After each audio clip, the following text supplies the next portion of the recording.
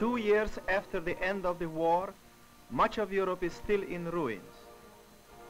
Than anyone else, 20 million unfortunate children of Europe are waiting and hoping for a life that has brighter things to offer than unending hunger and sadness.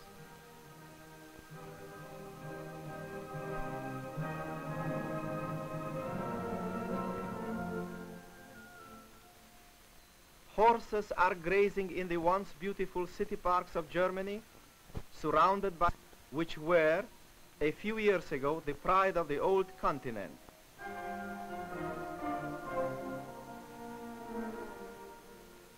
Hundreds of railroad stations like this one in Hamburg are awaiting repairs.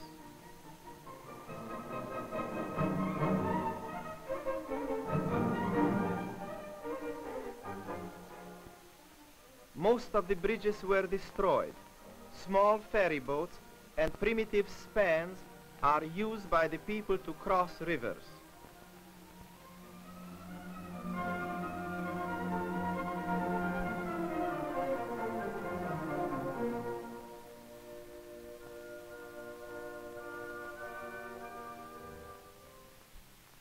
Thousands of villages like this one in Italy are in ruins and it will take many years of patient work to rebuild them.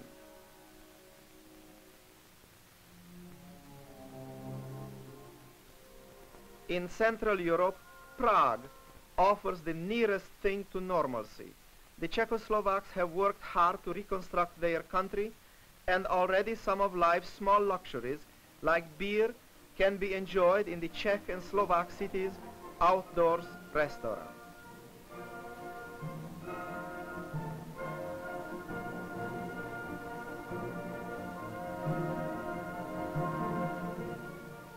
The Royal Palace of Budapest, Hungary is still in rubble.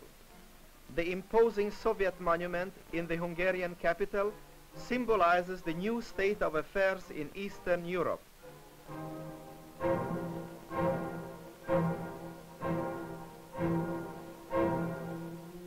Slovene villages shared in the havoc of the war, as did ancient and artistic cities like Florence, Italy.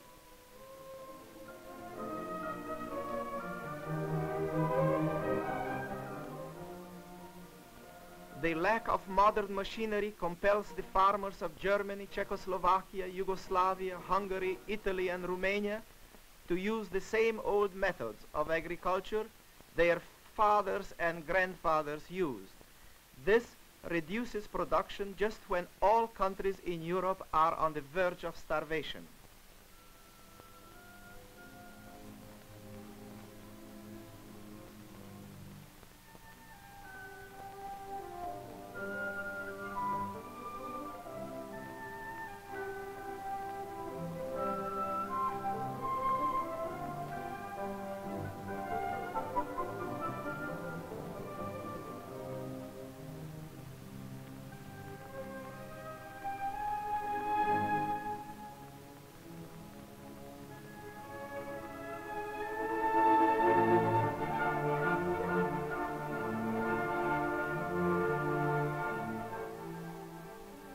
Life for the women of Europe is especially hard since even the most ordinary household appliances which are taken for granted in America are non-existent throughout most of Europe.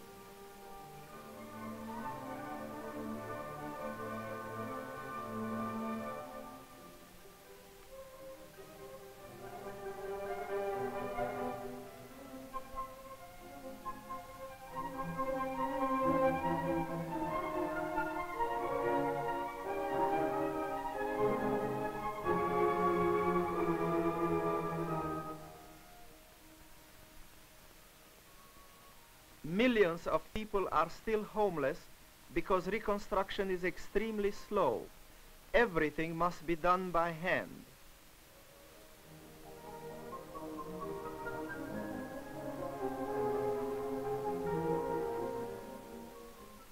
Before the ox is converted into food, he is used for many years as a beast of burden.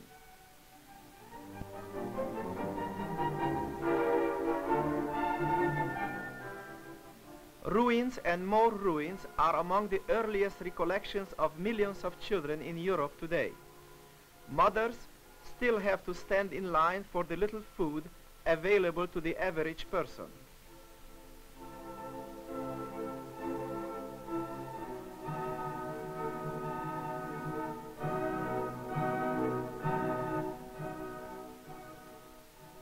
Marketplaces like this one in Budapest have nothing but second and third hand merchandise for sale.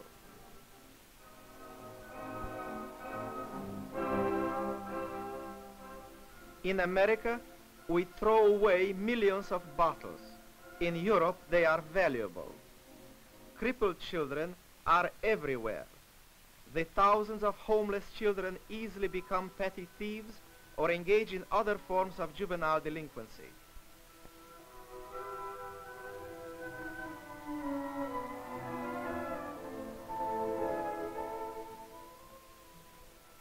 Children in the ruined villages of Italy can enjoy only the simplest pleasures of life.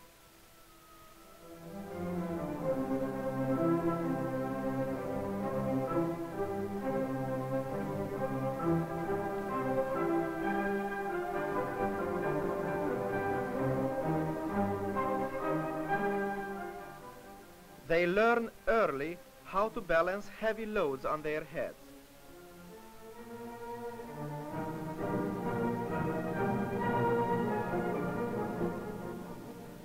To poor Italian mothers, even water is a luxury because it has to be brought from far. On all Italian roads, donkey carts are part of the scenery.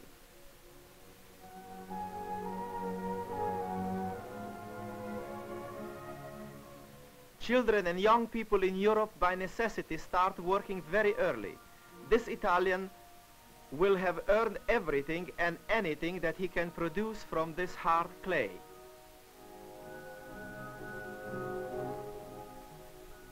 The apprentice system is still widespread. These Italian boys are typical of the hundreds of thousands of youngsters all over Europe who start their respective trades very early.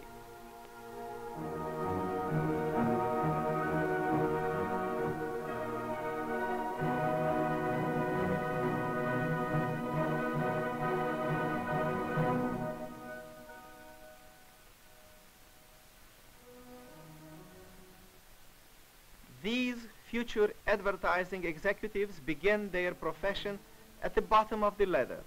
It is also an easy way to earn pocket money.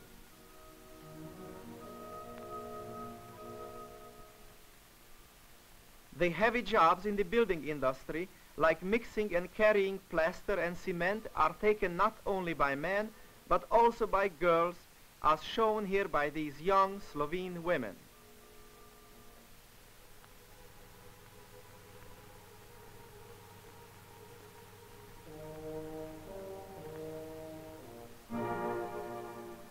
The Slovak boy on the right no doubt would rather play, but he has to help his parents in the fields.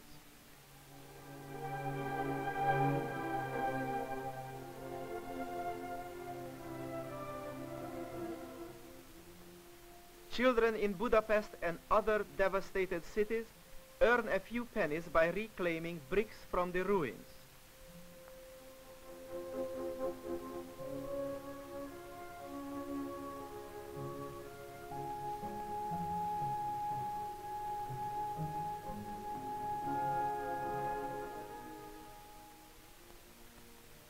Mother is at work, so this 10-year-old Hungarian girl is doing the family wash.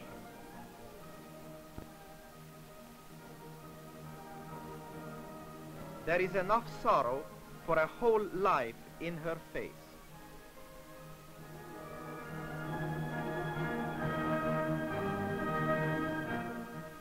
In Belgrade, boys on construction jobs perform the same work as adults do.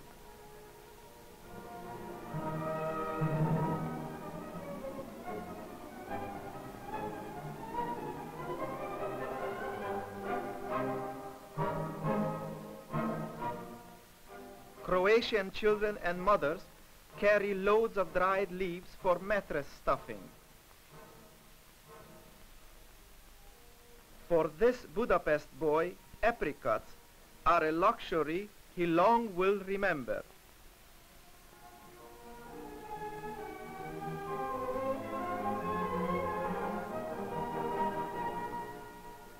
In Prague, babies have a better start in life beginning with modern perambulators.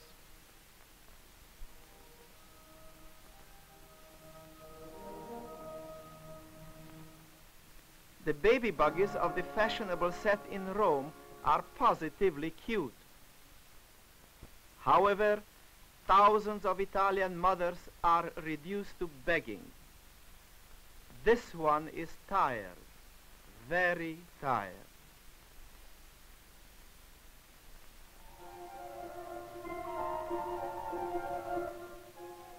Even poverty and ruins cannot stop children from playing. These Viennese girls consider their dolls their greatest treasure.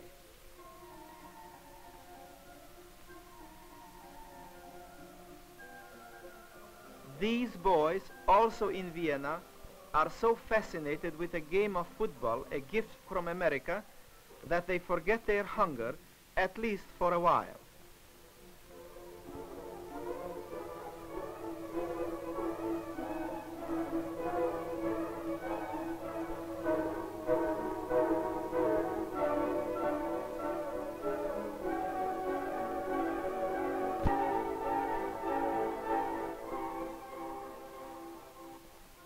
Bridge ruins in Vienna are a popular playground.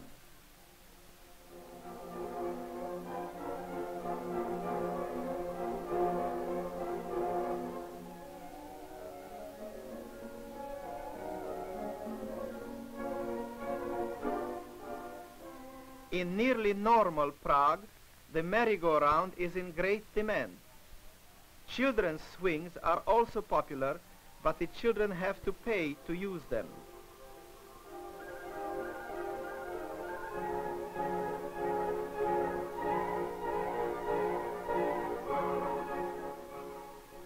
Country boys in Hungary indulge in fishing, and little girls enjoy such innocent pleasures as tumbling.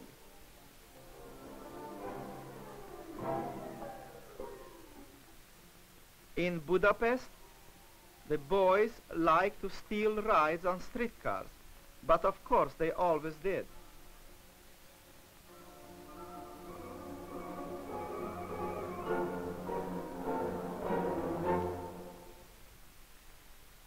Village children in Slovenia, like children everywhere, are great lovers of animals. Here they admire a new household pet, a young doe.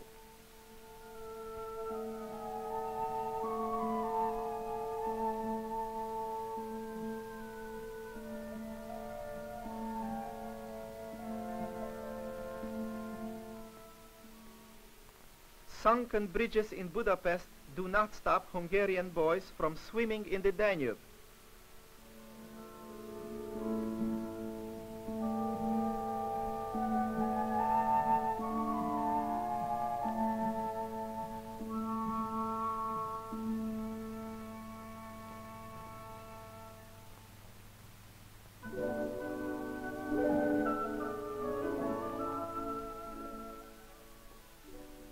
Mascot comes to see the proceedings.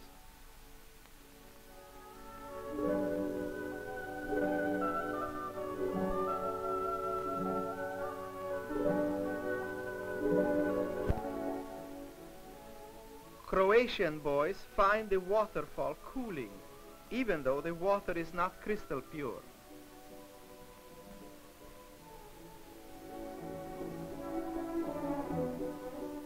Goats have to have a bath too.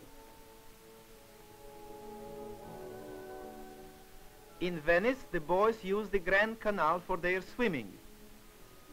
In Rome, however, the boys have few other places for swimming than the public fountains.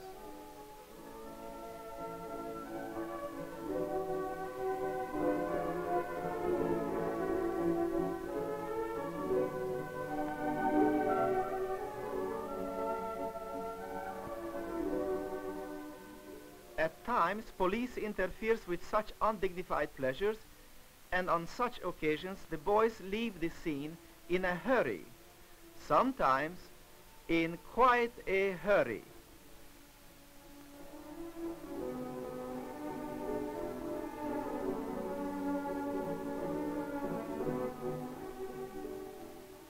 Mud or no mud, Slovak children like their ponds.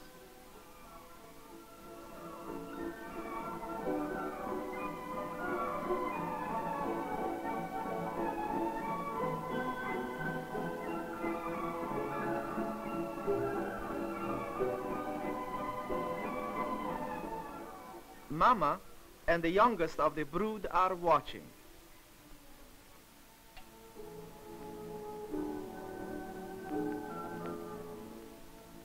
Like all children in Europe, Slovak youngsters too go home from school in marching groups.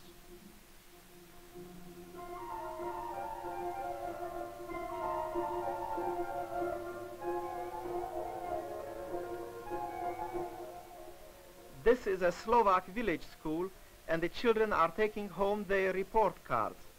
They don't seem too happy to enjoy it.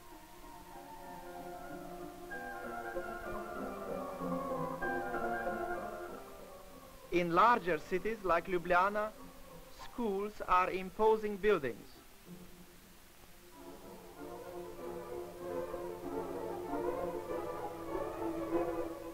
Like most village schools, this Croatian country school is modest. New schools are given priority by all governments. This one is in Yugoslavia. In Moravian villages of Czechoslovakia, the children are well fed and seem happy even when they go or come from school.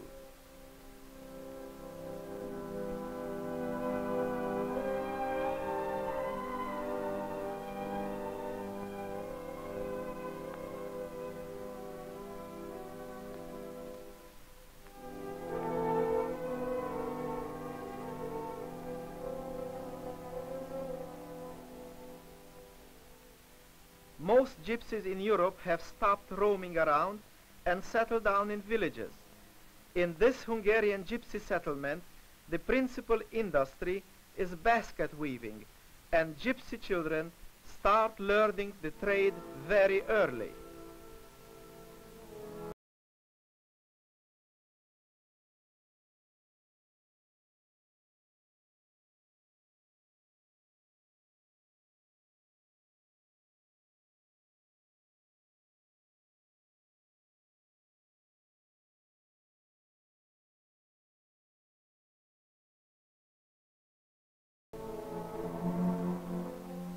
Involuntary exchange of populations is one of the saddest consequences of the war.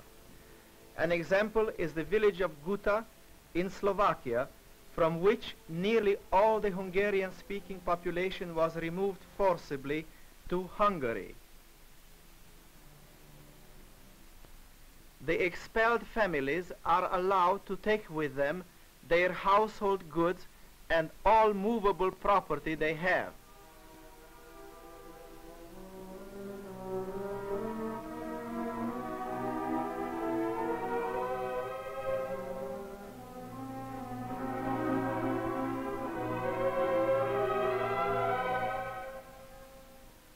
Huddled in boxcars, they are then taken to a new and uncertain life.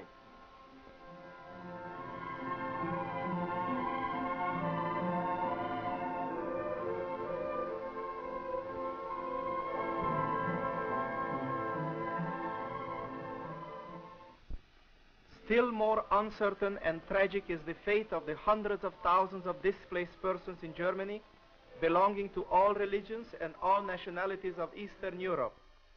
This Jewish displaced persons camp near Berchtesgaden is on what once was the private airfield of Hitler.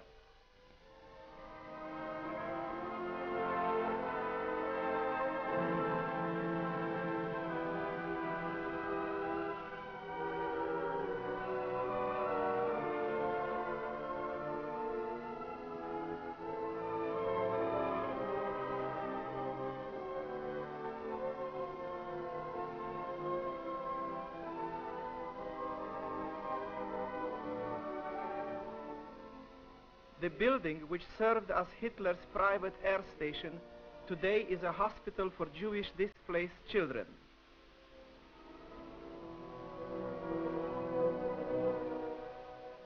These small Jewish boys and girls have been brought here by their parents or relief organizations from every country of Eastern and Central Europe.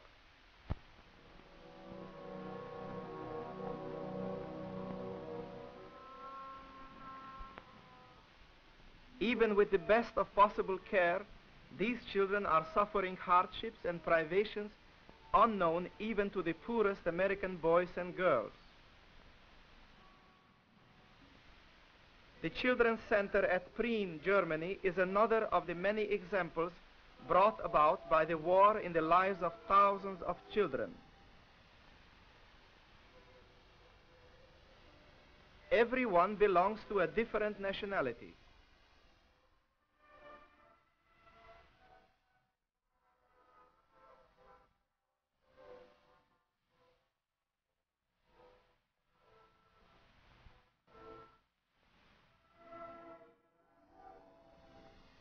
The girl on the left is a Mongol from the Soviet Union.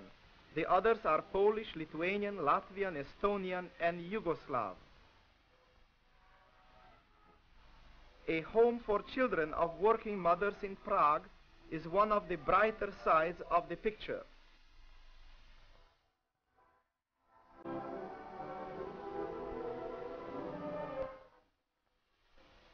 In no area of national and international recovery is so much being done by all governments as in organized child care.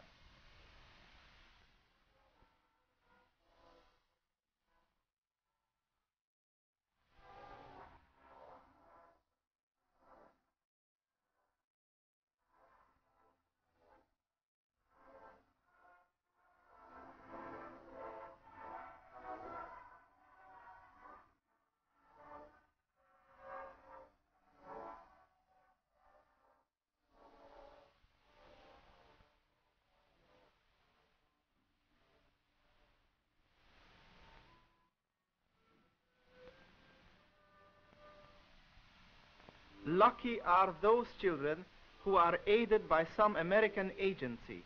This children's home in Czechoslovakia, for instance, is supported chiefly by the Unitarian Church of America.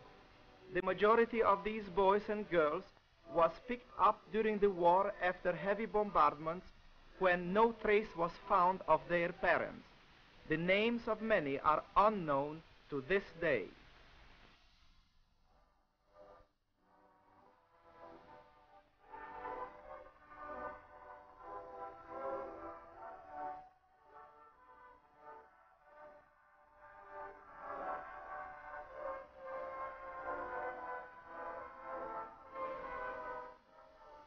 Wholesome food from America is helping to build strong bodies.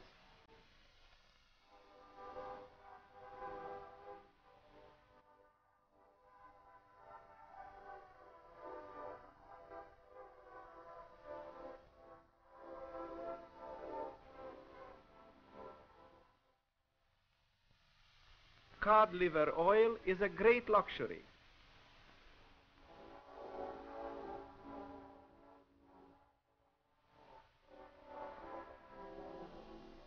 On the shore of Lake Balaton in Hungary, I found a Boy Scout group which tried very hard to revive the fine work this organization did before the war throughout Europe.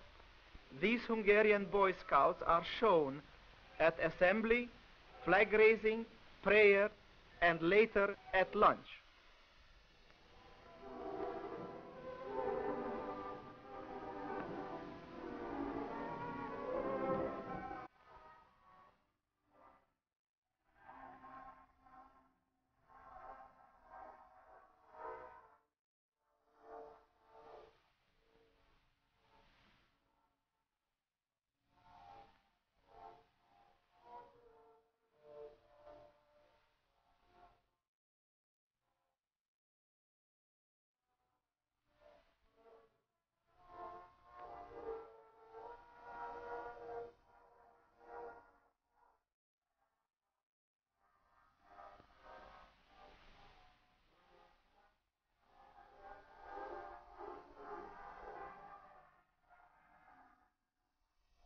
Every one of these boys has eaten regular meals only since he is in camp.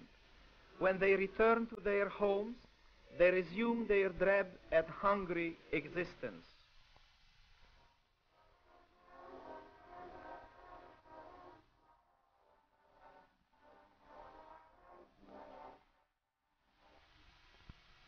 During the bombardment of Budapest, hundreds of nearly naked children were roaming the streets in eternal search for food and shelter. A Protestant minister named Reverend Sztehlo was so moved by the miserable lot of these children that he left his position as pastor of a church and established an orphanage in the residence of an industrialist who fled the country.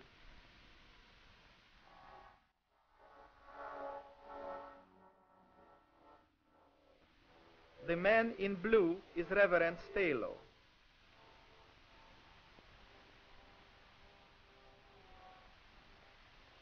The swimming pool too was built by the children.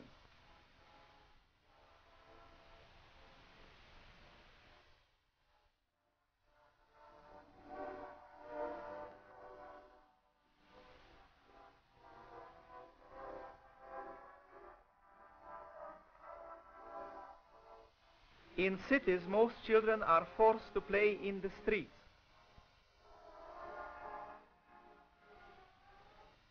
These children in a summer camp near Budapest are a few of the 45,000 boys and girls who received every day one warm meal from Swedish and Danish relief agencies.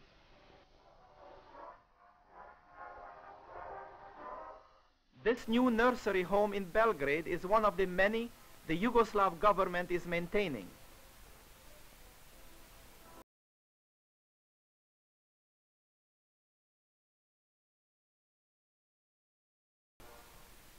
Marshal Tito is building up a new generation in Yugoslavia which, he hopes, will follow his ideals.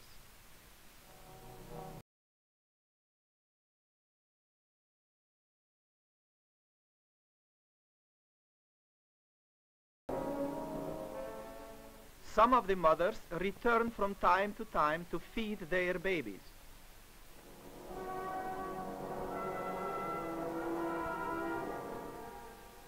From kindergarten age up, Yugoslav children are given much attention by Tito's teachers.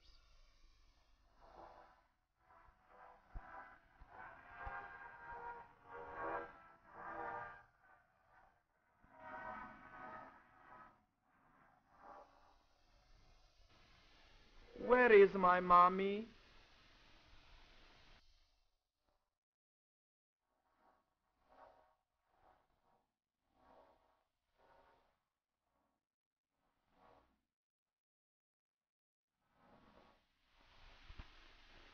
Once a private residence in Zagreb, Croatia, this building is now an orphanage for the children of Tito's partisans.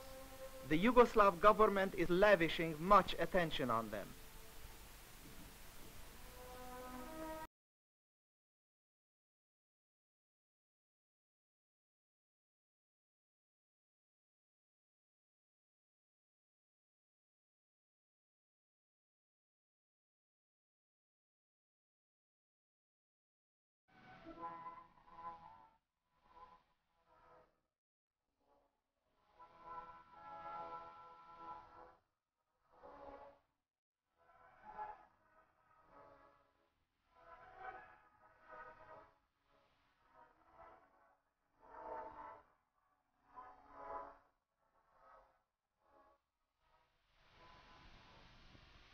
The dance is called the Tito Kolo.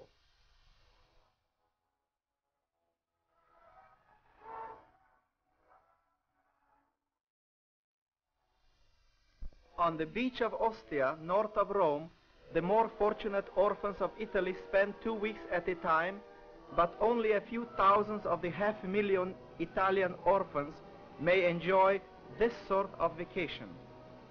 The Italian government, the Vatican, and private and municipal welfare agencies take care of some of the orphans, but the need for outside aid is very great.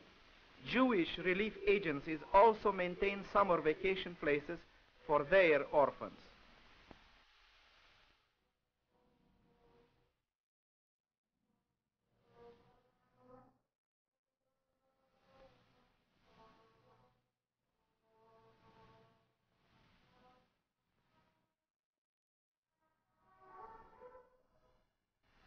The American Red Cross makes substantial donations to organize childcare in Europe. Last summer, for instance, it donated to the Hungarian Red Cross a fleet of large American trucks.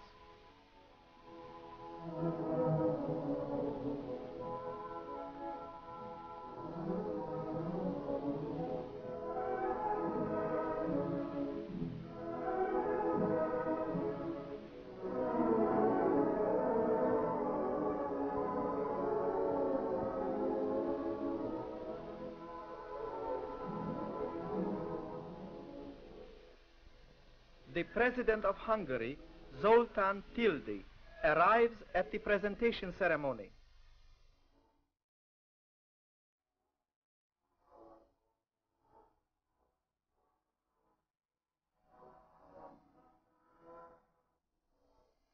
Next to the President is Louis Dinnyés, Prime Minister of Hungary.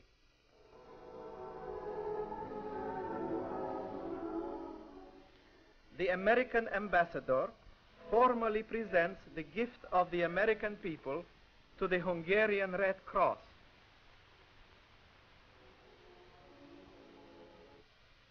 American occupational authorities in Germany are doing their best to teach German youth the principles and practices of democratic life and government. Sergeant Patrick Moriarty achieved considerable fame as the organizer of the first German boys club in Bremen. Here he is with the committee of the club.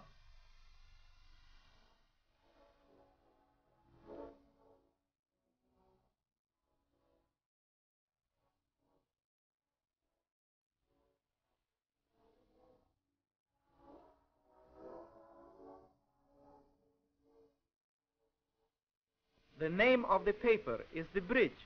It is printed and circulated by the boys and is read by considerable number of German adults too. Another one of the hundreds of American-sponsored clubs for German youth is this one in Frankfurt.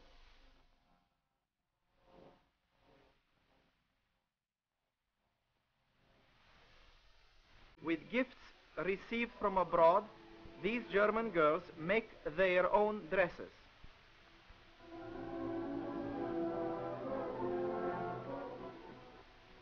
German boys, under American guidance, learn handicraft by using discarded tin cans.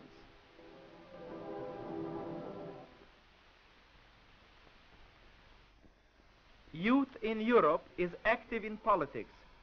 This parade, for instance, was staged by the Czechoslovak Catholic youth in Prague as a counter demonstration to a communist parade.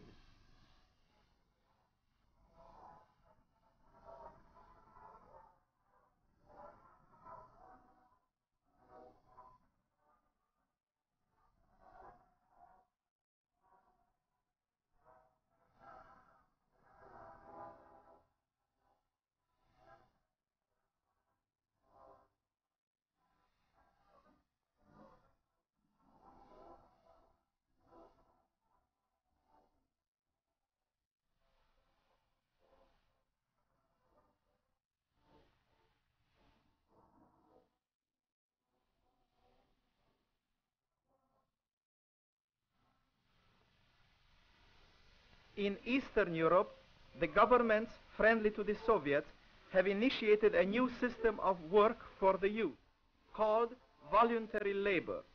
These Czechoslovak young people are building the foundation of an airplane hangar near Brno.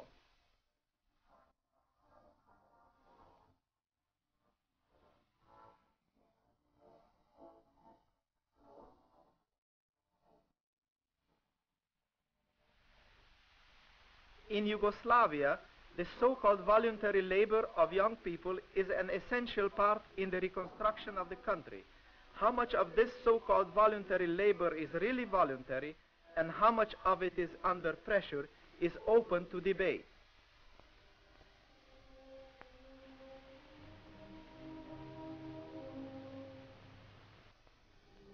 This outdoor memorial in Bologna, Italy, shows pictures of young partisans who died fighting the retreating Germans and Mussolini's troops.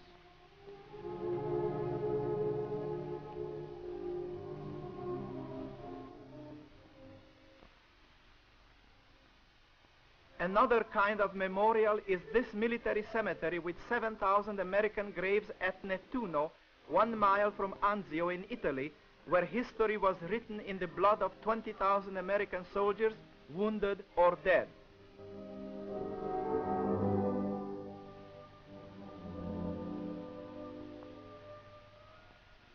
When they go to school, European children carry not only books but also a mess kit in which they can get a noon meal at school.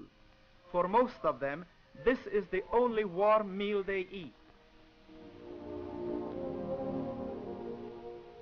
Their faces and bodies carry the unmistakable signs of malnutrition and often tuberculosis.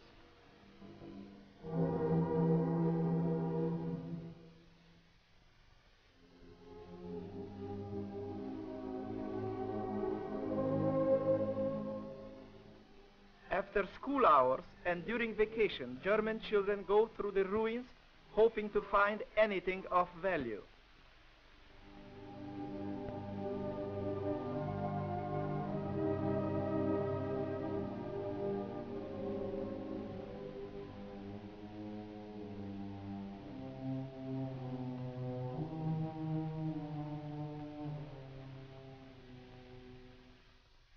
Hovels in many parts of destroyed Italy are quite a contrast with the beautiful sunshine of that country. Ragged boys add to the meager Italian family income by searching for used artillery shells that various armies left behind.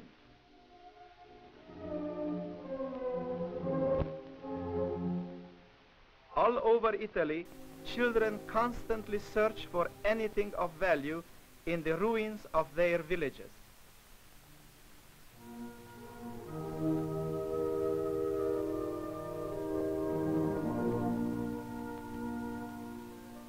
Like these two Italian boys, millions of children in Europe wear ill-fitting, ragged clothes and shoes or nothing at all.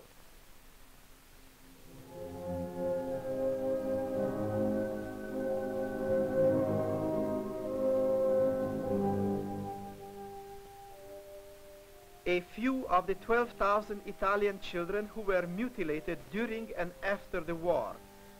Throughout Europe, Children with one leg or one arm can be seen struggling along with primitive artificial limbs or none at all.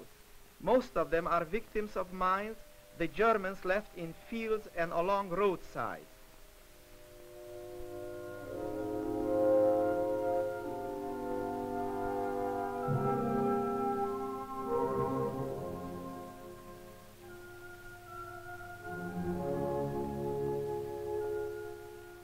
Hundreds of children from all war-torn countries of Europe find a happy refuge in a children's village, Pestalozzi in Switzerland. With a population of only 4 million, peaceful Switzerland has taken on heavy burdens in helping hundreds of thousands of children of the less fortunate countries of Europe.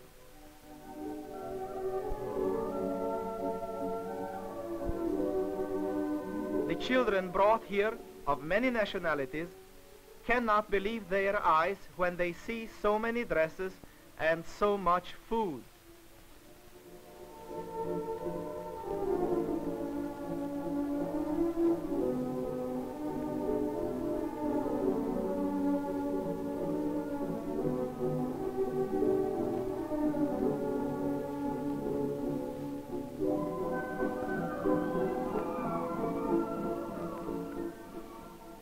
The world enters upon the third year of uncertain and uneasy peace, the 20 million unfortunate children of Europe are wondering when hunger, misery, cold, and illness will be left behind so they can live like normal children.